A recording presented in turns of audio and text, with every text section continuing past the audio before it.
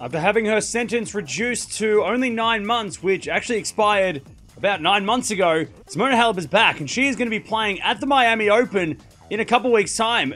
What a crazy turn of events. Let's go have a look at what she had to say over on social media. So this is what she had to say over on Instagram. I'm thrilled to let you all know that I will be making my return to the WTA in two weeks at the Miami Open. Thank you to the tournament for giving me this opportunity, and I cannot wait to be back on court and competing. See you all soon. So there you have it. She is back in two weeks' time. She hasn't played since the US Open back in 2022 which was like, what, August, September of that year. So it's been such a long time. Of course, battling it in the courts, trying to get the reduced sentence or trying to be found innocent as well. But reduced sentence is better than four years. Remember, she was going to be out for four years, which probably would have been career ending had she accepted that and not fought back. But she's back, and she's going to be playing in the Miami Open with a wild card. Let me know down the comments below.